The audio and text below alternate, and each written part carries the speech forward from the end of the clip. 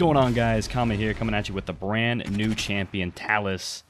Uh, a monkey? It is going to be a brand new flank coming in, you know, since flanks are super picked all and competitive. But still, this champion's very cool. We want to go over the abilities, the ultimate loadouts, and the legendary that I chose. And I think I thought of something that was pretty cool. But most of the time when I think of something that's kind of cool, it actually just ends up being something that everyone thought of, so whatever. So starting off, we have the left mouse button. Firing. 44 is not the normal ammo. I have a loadout that gives me a little bit more, but we'll talk about that in a little bit. Normal body shots do 95 and 143 on the headshots. And if you notice, I'm doing 95 here. I'm already starting to hit the damage drop off here pretty quickly. And when we get to mid-range, we're already doing about half damage. So keep in mind with that, you have to be close, just like with most flanks, like Androxus, one hit scan. But it fires very quickly. The exact time is 0.1 seconds. So we're doing about 950 damage a second which is pretty good, even if we just light her up in the stomach and then you start incorporating headshots in there. Oh, cracks up. So we have the right click now, it's a punch. The punch goes pretty far, and if you notice, like I'm gonna get her down just a little bit, the punch does 600 damage, and it knocks them back a little bit, and it counts as AoE damage, so you can hit multiple people with one punch. As Q just turns his gun, well, it's literally called overdrive. You fire 33% faster for 4 seconds, and you can activate it right in the middle of shooting. So if you're shooting, pop Q, turns right into that overdrive. And especially if you start hitting headshots with there, it just racks up. And then there's the example of me hitting multiple people with the right click. His movement ability is something that's kind of the most unique about him, I think, that's going to really stick out if you look at this champion for the first time. He plays a teleporter on the ground that looks like this. Hear a little ticking in the background. And there's a timer on the screen letting you know how long you have to go back to it. So you can go forward, attack all you want, and before the timer goes up, you can teleport back to it. If you let the timer go all the way through, it will automatically teleport you back. So for example, if you just wanted to place a teleporter down and come at this guy super hard, then teleport back to safety. Oh, pretty hair. It's pretty good. It's pretty good. And lastly, you have his ultimate. Now, when you use his ultimate, you literally get to see through walls and big nameplates will pop up whoever you're highlighting, once you finish the channeling of your ult, you'll teleport through time and space and punch them in the face. So let's say I want that middle Skye, target that middle Skye, bam, right on him. And I just gave him the hands. Well, now I'm in a really sketchy predicament. It's kind of like Drogoz ult. You go punch a person in the face, well, you're boned. Now, there is an obvious workaround to this glaring weak point of this ultimate, and that's simply using your teleporting before you do the ult. Then you choose that middle Skye, because screw that middle Skye. Pop your overdrive, go for a huge burst of damage and teleport right back. Pretty sweet. Now I wanted to go over the legendaries. Right here we have Faustian Bargain. Is that how you pronounce it? Rune of Travel no longer automatically activates when the duration ends if the rune is not used, the cooldown is reset. And that's actually the one that I'm using right now. So if I were to activate it, instead of it going all the way through, once the timer goes down, cooldown is right back up and I can place it again. Now while we're on the subject of this legendary, I have built a loadout to kind of go around it. Move 32% faster while Rune of Travel is active. The reason I have this is if I have this Rune of Travel on the ground and I'm not activating it, or I don't need to unless I need to get to safety, I have a constant level 3 nimble up at all times. Increase your ammo count to 9. This is something I set because when you set your overdrive, you want to get as much damage out of it as possible, and setting plus 9 to your ammo count helps you out get the most damage out of your overdrive as you can. Rune of Travel heals you for 400, takes 16% less damage when below 40% health damage reduction for free seems pretty good, even though it's only at 40% less health. And the duration of rune travel is increased by one second, giving me a little bit more uptime and a little bit more of a chance to decide if I want to teleport back or I don't want to teleport back. So that's the loadout I'm going to be using. The other ones, which I think might have all their merit, then we have Inner Strength, which is Rune of Travel, now resets the cooldown of Overcharge and Blitz Upper when activated. Now this legendary offers a lot of burst potential. Come around the corner, the Zhin doesn't even see you, drop your rune, pop your overdrive, right click, activate it, right click again, Gives you a lot of quick burst damage. Screw that Skye too. And lastly, Raging Demon, you no longer consume ammo while Overcharge is active. Man, if I could have both of those in one.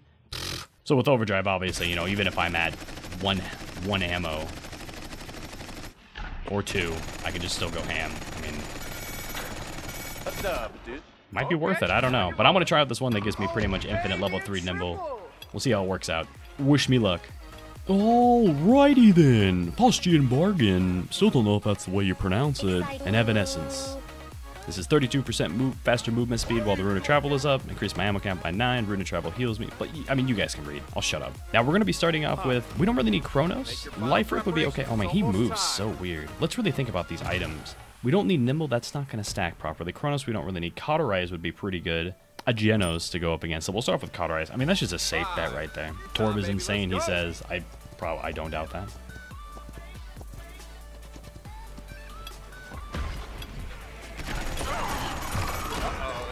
Dude, my overdrive couldn't even out deeps the Andrew. Holy crap, dude! Oh, here comes the hiccup. Apparently my DX11 is not enabled.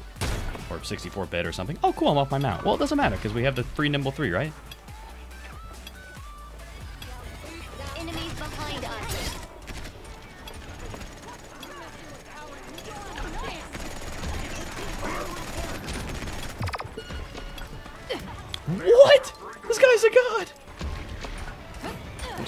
Impressive when I see it from his perspective. That Torvald's riding backwards. Alright, alright, they're getting hot, they're getting hot. Oh, I see. Because you can, like... Oh my god, this is awful. The way that they try to do this mounting system? Holy god. Enemies behind us. Alright, so this holding it down and not being... Not really needing to use it... Oh, is that Maybach? Not really working out too well. Hello. Not yet. Watch your back. I can't pop it? Oh, there it goes. So we'll be able to chase him down. We'll pop our Q right about... Oh, where'd he go? We got him. Okay, now you're rolling. I mean, I don't know. This uh, movement speed isn't as much as I was chalking it up to be. Someone coming up behind. Although now I can place this down and chase. Don't run. It's not that hard to be a good Don't run from your feelings. We're gonna place it down again, get our movement speed. We should have the Androxus in here. Oh, we're gonna go up behind him actually. That's five in a row. Okay, real talk, stop that guy. Oh, wait, no, I teleported. Oh, that was so close. Does he have the crippling one? Nope, I'm just bad. I didn't click the button in time. It's close. Maybe there's some sort of weird interaction coming in with the lift up and the, you know, teleport back. Oh man, look at that crazy aura coming off of me. And this mount thing though. Oh, sometimes I get a good BB. You're so nice. Uh, thought my teleport was up. Shut up. I got a free heal. Oh, where'd he go? He didn't die. Teleporting up. On my way. Son of a bee. Ah. Everything's gonna be okay. My whole team is dead, but we're gonna be okay. Oh my god, that's the whole team right there. So they see my teleportation, I think. He looked like he was looking at it. He was like, yo, look at that. I was like, don't look at it. And he looked at it.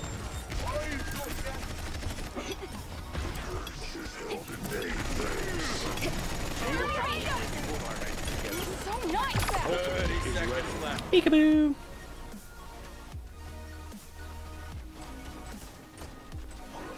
Overdrive up. Pretty good. I think I might be a good wrecker with overdrive. Especially with no ammo consumption. Holy guacamole, dude. Pop this down to be safe, and we're gonna push forward. That barrack is kind of low. Nine. Eight. Seven. Six. Five. Alright. No, I teleported back when I died. Oh man, it looks like the same issue that you come in with a wormhole type of uh, Eevee with a lag. I've got 87 ping, it's whatever, but be a little bit safer when you teleport back, guys. Don't expect yourself to be able to survive.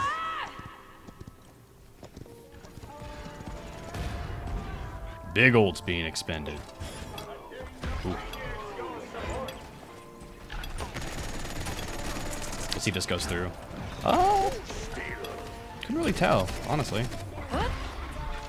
Peekaboo. Could not actually tell if that went through. I think it did, but just couldn't see the damage. Ooh, she's getting down. Look at that belly dance. I didn't actually see the new dances. I heard Shaolin had like some sort of amazing dance emote. My emote is look forward like a scared child. Hi, son. Are you lost? You want some cookies? Your parents were just murdered. Okay, that actually just looks like he murdered the parents. Holy crap. Terrifying. And we need to be oh so very careful on this. Oh, man.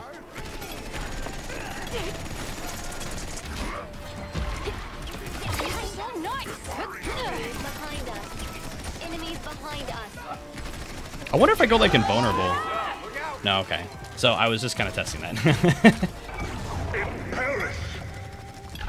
oh. Is he gonna jump out or? Uh-oh. Oh my god, we have infinite ammo. This is the dream, guys. No, the dream is dead. Oh, the dream's back.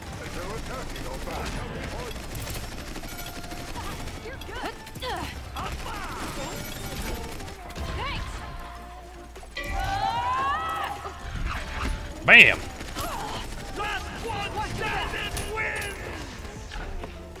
Enemies up. Look out. That cheating bastard. This is interesting. This is an interesting. I don't. I guess if you're good at mem- remember. Oh, where'd I go?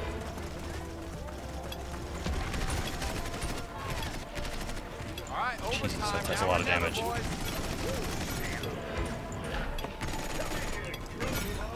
Yo, real talk. That Gristle guy can suck a dick. So the more and more I use my ultimate, the more I'm like, eh. All right, all right. They're getting hot. They're getting hot.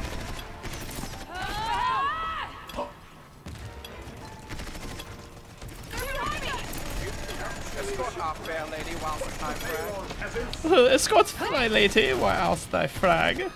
Yes.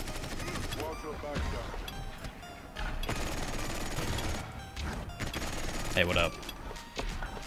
What up, player? What up, Gristle Master? Oh, Gristle Master coming at me hot. I want my cookies. So the the wormhole bait, or like the wormhole issue, where like they can see where you're gonna wormhole it from, um, it's it's a blessing and a curse at the same time. I think because I kind of like feel like that that Androxus was sitting back just waiting. I'm gonna put it behind this this pillar here. Wait, my cooldown says it's up. There it goes. I don't know.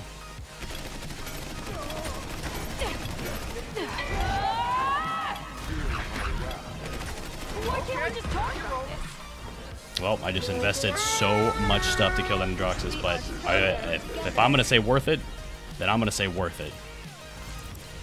Don't deny me this embrace!